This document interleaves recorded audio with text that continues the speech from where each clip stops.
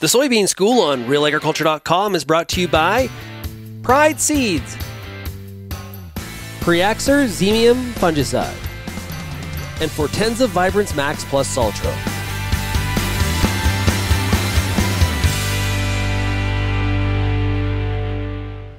Bernard Tobin on the Soybean School. Today I'm down in Ridgetown, Ontario at the campus, joined by Dr. Dave Hooker. Dave, how's it going? Yeah, I'm, I'm great.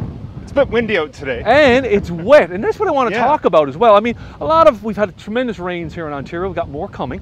Um, and a lot of growers talk about, you know, wet feet. Soybeans don't like wet feet.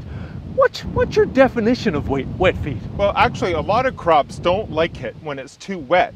And it's too wet when the crop is struggling. The roots need oxygen to respire, and respiration is needed to produce that, that energy that makes the plant grow, that makes the roots grow. Roots need to respire, and it needs oxygen to respire.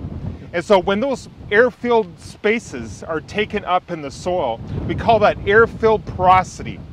And when that is at is at very low because of too much water, the plant just cannot get enough oxygen. The roots can't get enough oxygen in order to complete that respiration process. And then the plant goes under stress. So here's the question, how much is too much? You've, you've got some plants here as well that you want to show, but how much is too much? Yeah, well, it's, it's a very good question. It really depends on the soil type. It depends on other factors as well, like a typical agronomist, right? It depends.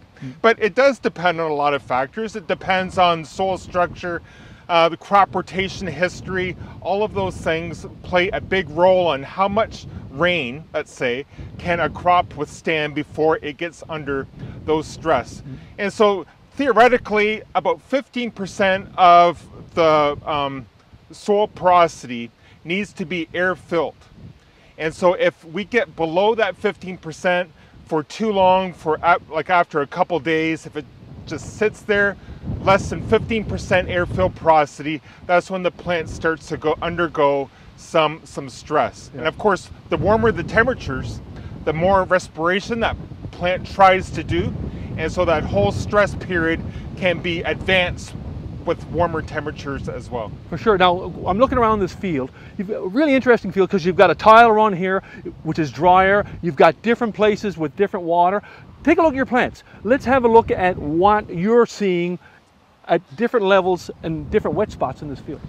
We have tile run soybeans right here in this plot, and these soybean this soybean plant is from a, um, right where the the tile was, and and the plant is probably under a little bit of uh, water stress, uh, too much water, but the plant is under not near as much stress as these other plants right here that are just in saturated soil conditions.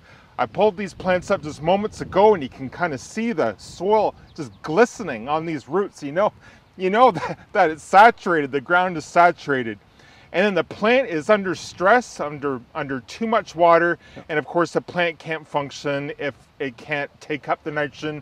If the nodules if the soybean nodules fixing nitrogen fix, fixation nodules if they're under too much water they can't breathe either. And so the nitrogen fixation process is slowed down to zero as well with too much stress because of too much water. Final question for you is that, hey, we got, we got a beautiful day here. We're hoping for some sun. Can we dry out in a hurry? Can we avoid yield loss and make some grain with some August rain? Yeah, the, the trick is here to minimize root damage, and that's what the that's what too much water causes. Right off the bat, roots start to die. They start to senesce. And in order to, for those roots, for those plants to pick up growth again or to resume growth, we need some dry conditions. And the dry the drying process needs to be at a rate where the roots can catch up. The new roots can pick up more water, pick up more nutrients. If that drying process is too quick, these plants are that have been under tremendous stress, tremendous root death, could go under drought stress quite quickly, and that's what we're um, kind of fearful about. Those plants undergoing another stress, especially in the earth stages. So great insights, Dave. Thank you so much. Uh, hopefully we'll get this crop dried out and we'll get some good yields. Thanks for joining us on Soybeans. Hey, you're welcome. I'm an optimist. I still have hope for this, even between the tiles. You heard it.